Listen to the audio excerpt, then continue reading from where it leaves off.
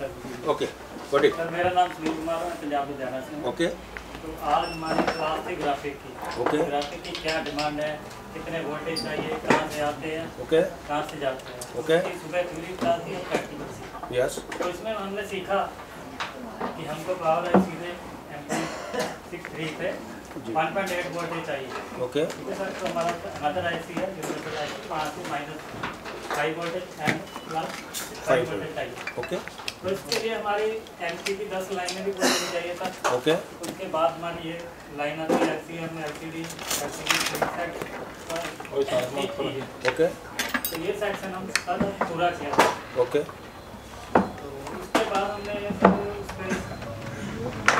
बिना C P U okay बिना power के हमने सर्किट तैयार किया। ओके जो कि यहाँ के हमको आके नई तकनीक पता चली। ओके। कि बिना इन आरसियों के भी हमारी जो ढाई की डिमांड है इधर ग्राफिक की वो पूरी हो जाती है।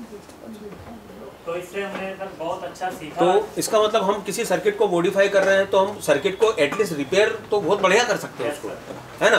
तो आपने ये सीखा अभी कि आपका अगर कोई सा भी आईसी फेलिवर जाता है Yes. है ना? या सीपीयू से कोई लाइन फेलिवर जाती है जो आपके ग्राफिक्स को आती है तो आप उसको बाईपास करके आप अपना माइनस पाँच प्लस पाँच बना के अपना ग्राफिक्स बना सकते हैं आप।